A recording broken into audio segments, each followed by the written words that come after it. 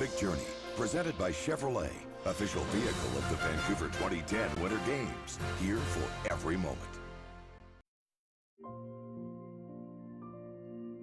All of a sudden, one day I woke up and ice dance, and Tessa and I were, that was my whole life. There is no next partner for me. I just can't imagine skating with anyone else. I've, I've skated with Scott since I was seven. Not only would it just feel weird and, and kind of wrong, it's not an avenue I want to go down.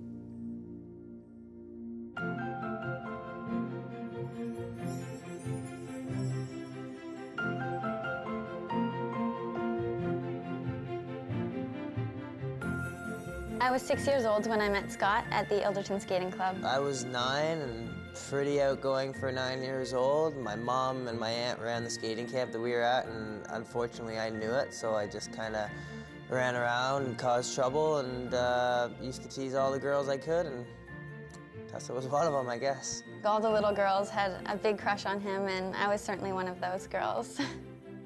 I don't really remember being attracted to Tessa as a young guy, you know, I kind of just went about my business. I was always going after the older girls, and when my aunt put the two of us together and, and started skating, I guess that's when we got shy and um, kind of stopped talking a little bit uh, when we started skating together. Well, when we first started skating, my thoughts were it was pretty awkward. I'm not sure there was anything particularly special about the two of us at the time. You know, I was just kind of doing it to, to keep my mom happy, and uh, my older brother did it, so I, I kind of was just doing it to try and keep up with him, I guess. We didn't say a word to each other for probably at least two years, and I know we were dating, so there was some sort of relationship there, which maybe made it a little bit more awkward. And uh, I wasn't a huge fan of it at first, actually. I haven't told very many people that, but uh, after a couple years, after we broke up our hot and heavy relationship that we had, uh, we started talking a little bit more and having a little bit more fun. We took it year by year, and here we are.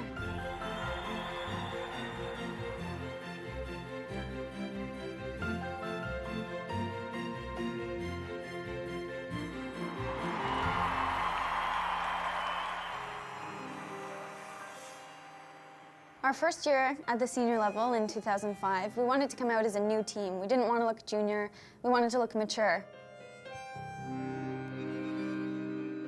And we were quite young, I was only 15. It's hard to look mature on the ice, but we came up with a tango program that showed our, our connection and a passionate skate, and, and I think it worked.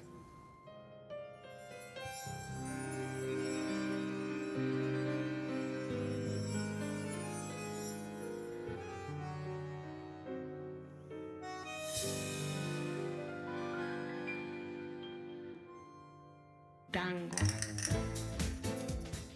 In order to get into character on the ice, I need to sort of channel an alter ego. We're trying to get back to the roots of dance. At this point, I think that's what people really want to see in skating, and we feel like that's one of our strengths. Scott is more technical than I am. When we're putting together a program, he's always worried about the elements and the edges, what's going to get us a level four, which is great. On the flip side, I'm always worried about arm movements and expression and positions. I think in that sense, we balance each other out really well. We'd like to think that it's our connection that, that sets us apart from everybody else.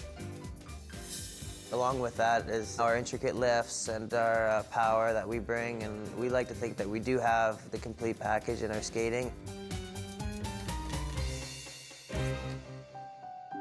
I can't remember really thinking about wanting to be an Olympic ice dancer at, at nine years old.